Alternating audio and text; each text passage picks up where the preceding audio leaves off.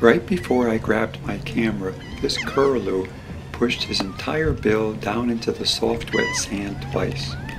Of course, once I had my camera, he didn't do it again, but he's still fun to watch.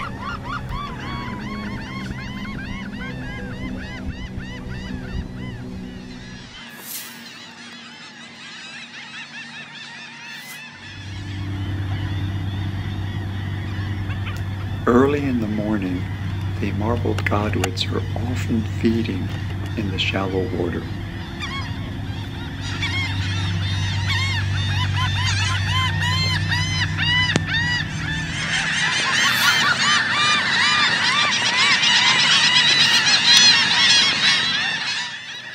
That's the laughing gulls you hear all the time in the background on the beach.